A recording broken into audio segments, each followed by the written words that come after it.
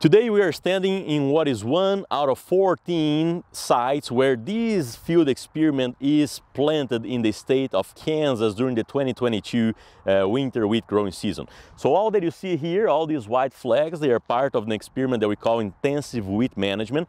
And it is an experiment that is funded by the Kansas Wheat Commission, the Association of Wheat Growers here in Kansas, right? Uh, and, and they fund this experiment. Essentially, what we're doing here is we are replicating management practices that we learned from growers that they are doing in their own commercial fields. So for example, here in these first two plots that we have in the beginning of the experiment, um, we have management practices that were adopted by low yielding growers in the state of Kansas, right? And so here, for example, we have a limited seeding rate. We don't have any starter fertilizer.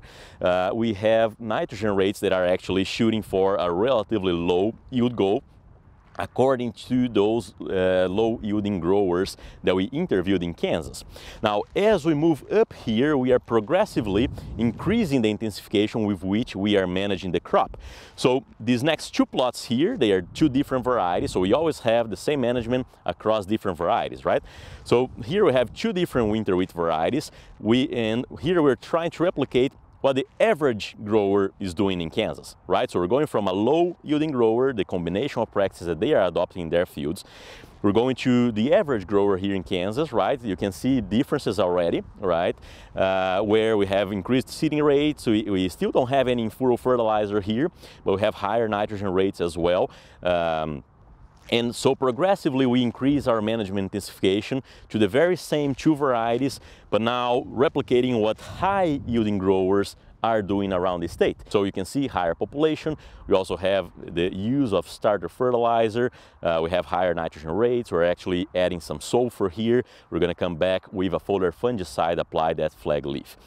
Now, if we move down another two plots, what we will see there is the highest yielding growers in the state of Kansas. What are they doing in their fields, right? So again, we have even higher seeding rates, higher fertility at planting, higher levels of nitrogen and sulfur, and even some addition of chloride, some early foliar fungicides and micronutrients, and later foliar fungicides as well. So we have a range that is representative from the lowest 20% yielding growers to the average to the highest the 20% yielding growers all the way to the top 5% yielding growers and what they are doing across the state. And again, we're very excited with this project. Last year in 2021, we were able to do this project in about 12 locations across the state.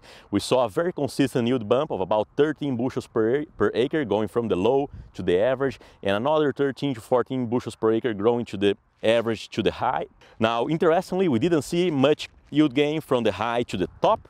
Uh, however, we're now looking at quality attributes. So even though we didn't see a yield gain, I'm, we're curious to see if we're going to see any positive milling and baking quality gains from the high yielding growers to the top yielding growers. So that's our wheat intensification uh, project in collaboration with the Kansas Wheat Commission and with uh, Lucas Haag and, and, John Holman out in Western Kansas as well.